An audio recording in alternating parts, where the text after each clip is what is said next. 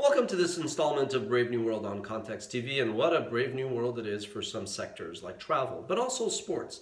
When we think back of the 2008 Great Recession, clearly the finance sector froze and that had huge effects across the economy. This time, there are some industries like travel that come to mind as the ones that are most affected, but others like sports, where entire leagues have been canceled or paused, are having ripple effects and impacts behind the scenes. First, some stats. The entire global advertising sector represents a $620 billion uh, industry.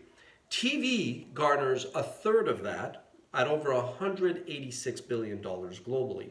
The impact of the Olympics being canceled, where NBC has already sold $1.25 billion, has both direct and indirect consequences, and that's what we're going to be talking about. The loss of the NBA season is going to be costing Disney, uh, that owns ABC, but mainly ESPN, $480 million. Half of NBC, which is a property of Comcast, half of the $10.3 billion uh, of revenue that NBC Universal generates comes from advertising. So these are huge stakes, big dollars. But it's not just a direct loss, it's also the indirect uh, spillover that it has.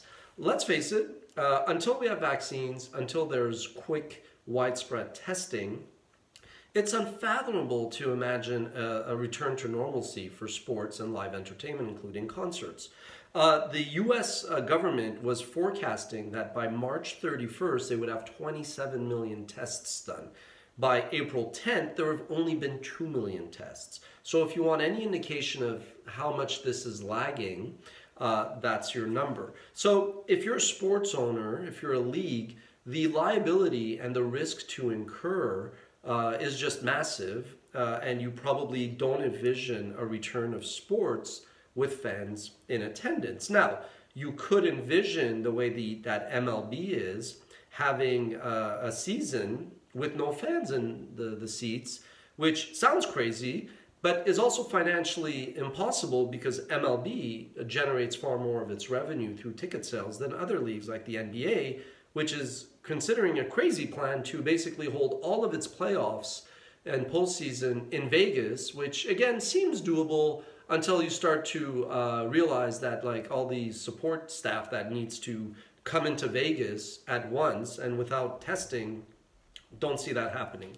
Um, the spillovers are going to be far, uh, far, far fleeting. For one, you already have uh, companies like DAZN that are basically saying, look, we are not going to be paying for the rights, and that's going to have effects and spillovers in terms of uh, the, the legal front. There's going to be clearly litigation there.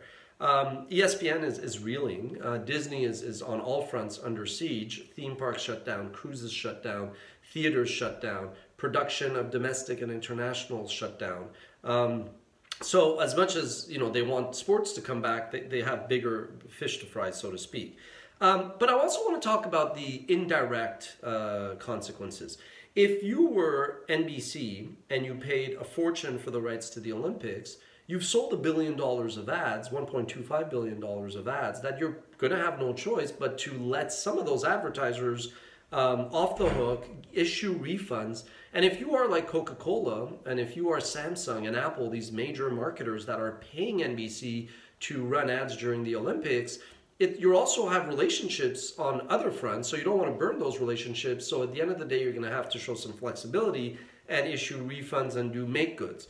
But imagine you are NBC and you were going to launch Peacock, your streaming platform, and you were putting all this energy and resources behind it in terms of personnel and opportunity costs, but you figured that by having the Olympics on the airwaves, you were going to be able to put this big spotlight uh, on the Olympics and be able to cross promote other properties of yours, such as Peacock or even your, your movie releases.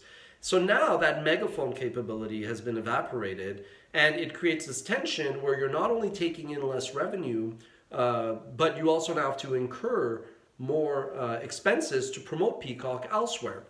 Now, there's a silver lining. Some of those marketers who are going to spend millions or billions of dollars uh, around sports will, will probably look at spending it elsewhere But with an economy that's going to be slowing down in a recession, and, and with so many consumers lacking any discretionary purchasing power, well, you know, it's, it's also highly likely that some of that advertising is just going to evaporate. There's really a few big events like the World Cup and the Olympics, and if those aren't happening, it's not realistic that all of that will just flow elsewhere. So it's it's it's an evolving, fluid situation. Uh, there's no real obvious solution, silver bullet for, for, for marketers or the media companies. Um, and I believe that you're going to be feeling the ripple effects in years to come.